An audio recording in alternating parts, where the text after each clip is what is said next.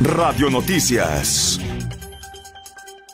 Este es el corte informativo del miércoles 22 de noviembre del 2023 de Radio Noticias.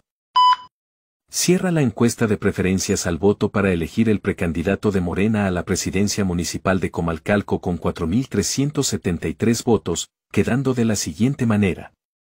Ingeniero Luis Gerardo de la Cruz Córdoba con 2.359 votos y con el 53% de preferencia.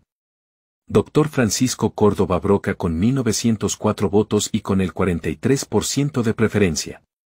Licenciado Ovidio Salvador Peralta con 110 votos y con el 2% de preferencias.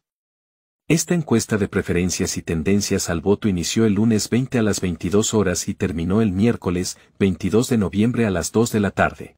Estas encuestas de preferencias y tendencias al voto la realizaron Más Radio Noticias, únicamente por redes sociales y para los inscritos en Morena.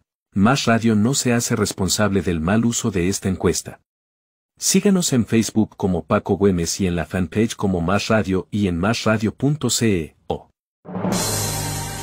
Radio Noticias.